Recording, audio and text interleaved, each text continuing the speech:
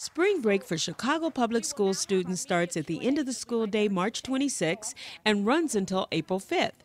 At a news conference at Nash Elementary School, Mayor Daley and city officials reminded residents of the many positive activities that young people can enjoy during the upcoming break.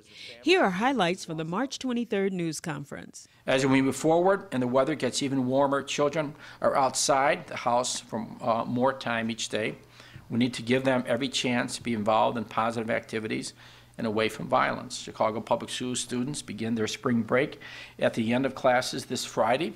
As you know, Passover begins Monday, and of course, the Easter holidays begin at the end of the end of the week. Return to school on, on uh, Monday, April 5th, opening day. it's another. Uh, while this is a welcome break for uh, parents and students alike, uh, I'm concerned. We all are concerned about the safety of all of our children. And I say all of our children, not just your children, but children of all communities. This extended period of school gives our young people time on their hands, which unfortunately can be dangerous. The free time makes them vulnerable to threats of gangs, guns, and drug dealers. It means we have to redouble all of our efforts to keep our children out of harm's way.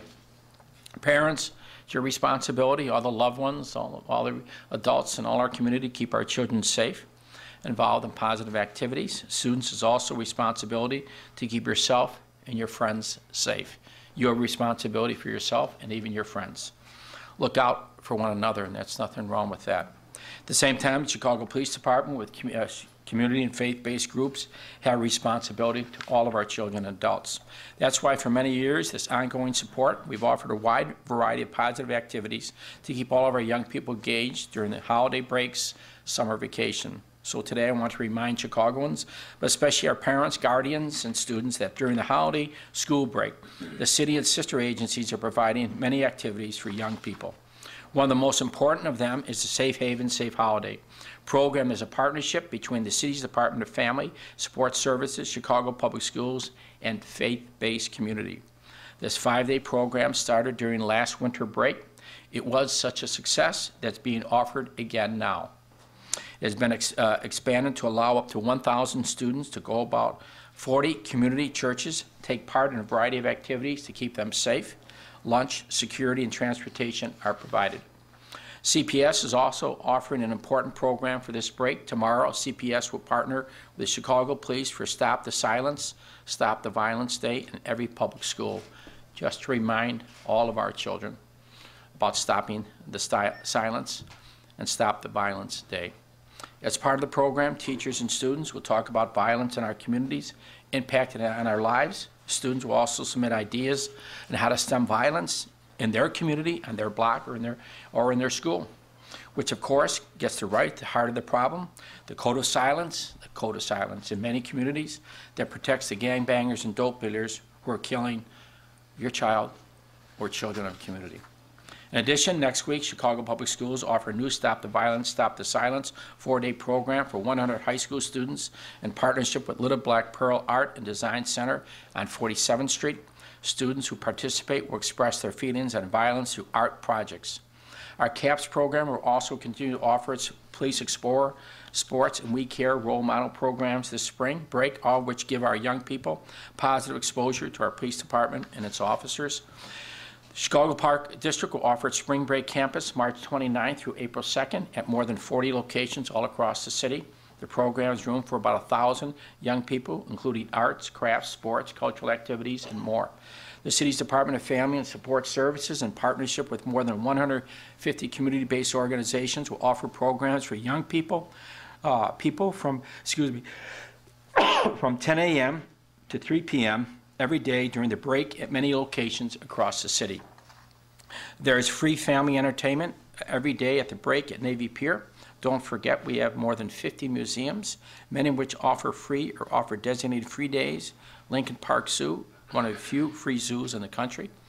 Of course, I want to remind everyone that the Chicago Police Department will continue to enforce the city's curfew all across Chicago. So parents and guardians, make sure your children are at home before the curfew begins. Finally, the Chicago Police Department will launch Operation Spring Break in collaboration with the Illinois State Police, Cook County Adult Probation Gang Intervention. As part of the efforts, the police will provide additional resources to at-risk communities. These are just some of the steps we are taking to ensure the safety of every young child and every person in our city. I urge everyone to make a commitment today to make next week a safe and productive spring break for all of our children. Uh, We have flyers dealing with uh, the locations of many of the, uh, uh, many of the locations, uh, community-based, the Park District, uh, other organizations that people can go to in their communities. Thank you. I want to start by uh, thanking the faith community that has uh, stepped up to the plate in so many ways on the violence front. And the most recent demonstration of that is the Safe Haven program. Uh, as the mayor mentioned this morning, this was a program that first began over winter break with huge success. The culmination of the winter event was students coming together uh, in one forum talking about violence citywide and what students can do to help curb violence. The result of that, uh, and a lots of other input we received from the community, is what tomorrow, as the superintendent and as the mayor said, uh, will be the Stop the Silence Day across the Chicago public school system. Uh, this program is designed where we will be showing videos of families who've lost loved ones. The goal is to spur conversation across our students and make it a learning moment where they can reflect on what happens when students don't share information when they either know violence is going to occur or they know that something has occurred. Uh, so we're very excited about that, and we believe that uh, it will be a great program. We're also excited that over the spring break period, we will have 40 churches that are not only serving breakfast and lunch, but are also providing lots of guidance to our students, are providing them with a place to go and activities to keep them busy over the spring break. We're encouraging students citywide to seek out uh, one of these uh, churches as a place to go, and we have that information available uh, to hand out today as well as on our website at www.cps edu. And finally, we just want to also thank Catholic Charities that has stepped up to the plate and will be providing all of the meals across these churches uh, to our students. Thank you.